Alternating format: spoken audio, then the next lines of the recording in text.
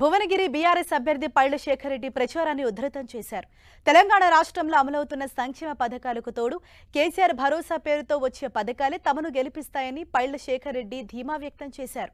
ఇప్పటికే నియోజకవర్గ వ్యాప్తంగా అన్ని గ్రామాలను చుట్టొచ్చిన శేఖర్ రెడ్డి మేజర్ గ్రామాల్లో రెండో విడత ప్రచారం నిర్వహిస్తున్నారు. భువనగిరిలో తాను రాష్ట్రంలో సీఎంగా కేసీఆర్ హ్యాట్రిక్ ఖాయమంటున్న పైళ్ళ శేఖర్ రెడ్డితో మా ప్రతినిధి Chandrasekhar face to face.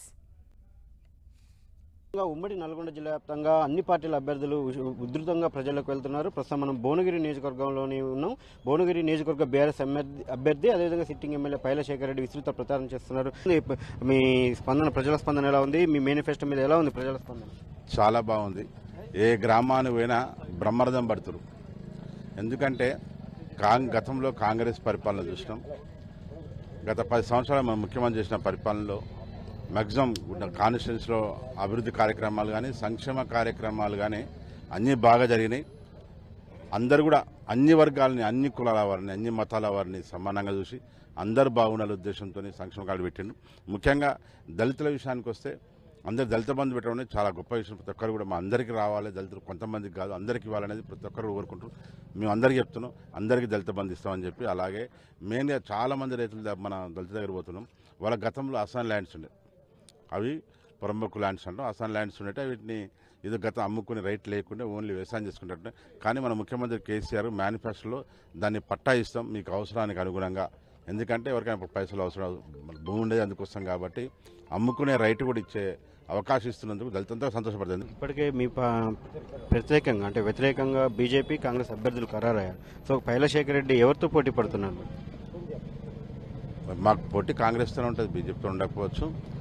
Congress వాళ్ళ పరిపాలన చూసారు నార్మల్గా ఎవరు ఎక్కువ ఇండ్లలో కూర్చొని ఓటు వేయడం ఒక్కసారి ఆలోచిస్తారు. ఎందుకంటే కాంగ్రెస్ పరిపాలన అనేది వాళ్ళకి పరిపాలించడం చేత కాదు. ఒకవేళ కాంగ్రెస్ అని ఒకవేళ మైండ్లో ఉన్నా కూడా తీసేసుకోండి. ఎందుకంటే మళ్ళీ వాళ్ళకు కరెంటు కానీ నీరు కానీ ఈరోజు మంచిగా ఉన్నాం అభివృద్ధి చెందాం. వాళ్ళు ఏది చేయాలని కూడా ఢిల్లీలో పోయి కూర్చొని మాట్లాడుకోవాలి. ఈడికొచ్చి పది మంది కూర్చొని మాట్లాడుకొని వాళ్ళు వాళ్ళు చొక్కాలు చింపుకుంటారు తప్ప మీ దాకా రారు. మీ సమస్యను వినే పరిస్థితే ఉండదు. ఇక్కడైతే మేము ఎమ్మెల్యే ఉన్నాం. ప్రతి సమస్యని సీఎం దాకా తీసుకెళ్తాం. స్పందించే అవకాశం దొరుకుతుంది. ఓవరాల్గా మూడోసారి మీరు బరిలోకి దిగుతున్నారు. తెలంగాణ వచ్చిన కాడి నుంచి కూడా భువనగిరి గడ్డ మీద మీరే గెలుస్తున్నారు. సో ఈసారి గెలుస్తారా మరి? హ్యాట్రిక్ కొడతారా? పైలశేఖర్ రెడ్డి? హండ్రెడ్ పర్సెంట్ ఆ డౌటే లేదు. మెజార్టీ ఎక్కువ పోయినసారి కంటే ఎక్కువ మెజార్టీ కోసం ట్రై చేస్తున్నాం. హండ్రెడ్ పర్సెంట్ మా ముఖ్యమంత్రి కేసీఆర్ చెప్పినట్టే ఫిఫ్టీ థౌసండ్ చెప్పింది దాన్ని దాటే విధంగా ట్రై చేస్తున్నాం తెలంగాణ శాసనసభకు ఎన్నికలు జరుగుతున్నప్పటి నుంచి కూడా భువనగిరి పైన ఇటు పైల పైలశేఖర్ రెడ్డి విజయం సాధిస్తున్నారు. ఈసారి మూడోసారి హ్యాట్రిక్ రేసులో ఆయన ఉన్నారు. ఖచ్చితంగా హ్యాట్రిక్ విజయం సాధిస్తున్నారు ధీమాని ఇటు పైలశేఖర్ రెడ్డి వ్యక్తం చేస్తున్నారు.